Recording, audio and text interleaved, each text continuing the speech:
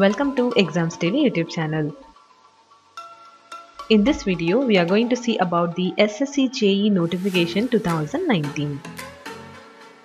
Before that, those who didn't subscribe our Exams Daily YouTube channel, click the subscribe button and also do not forget to click the bell button to get updates from our channel.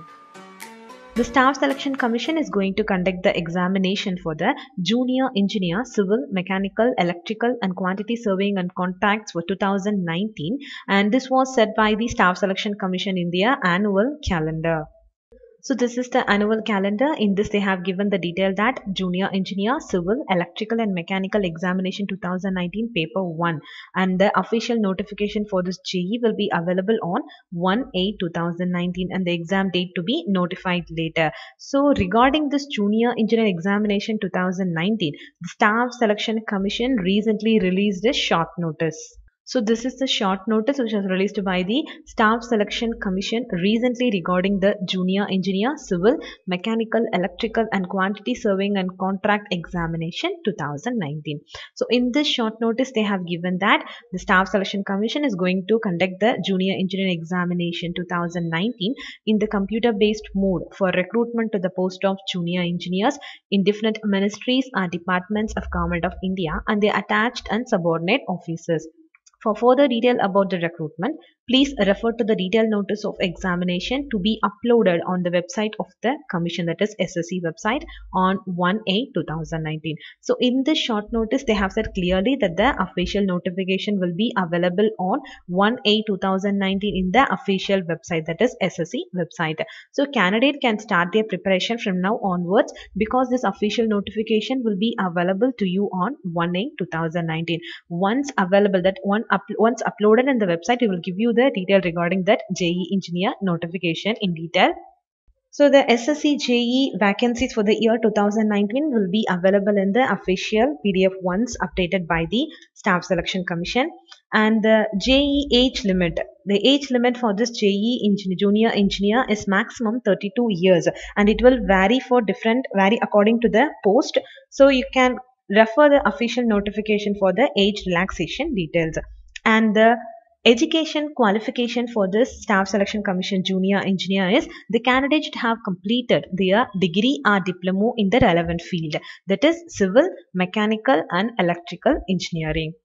So the next is application for the Staff Selection Commission Junior Engineer and the application fees for general and OBC category the candidate should have to pay rupees 100 only and for women candidate SC, ST, PWD and ex-serviceman there is no application fee they are exempted from the application fee that is rupees 100.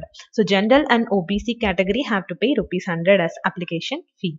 So the next is Staff Selection Commission selection process that is JE selection process.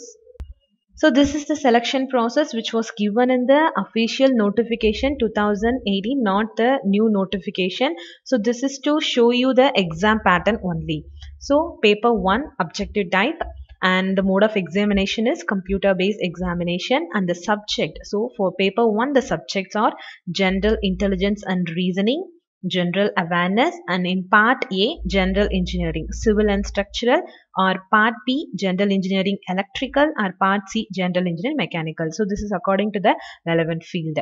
And in general intelligence and reasoning number of question 50 the maximum mark 50 and in general awareness also number of question 50 and the maximum marks is 50 and in part A or part B or part C total marks total number of questions 100 total number of marks 100 Total duration 2 hours.